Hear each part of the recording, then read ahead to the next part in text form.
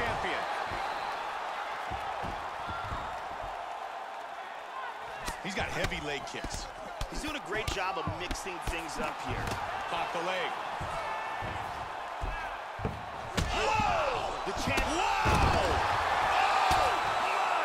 Just like that! Huge hook that got him the victory.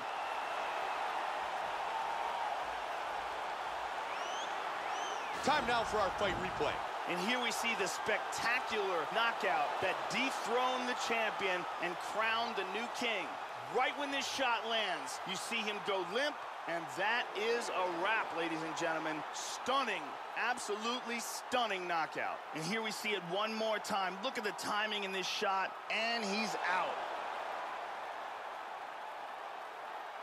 Bruce Buffer has the official decision.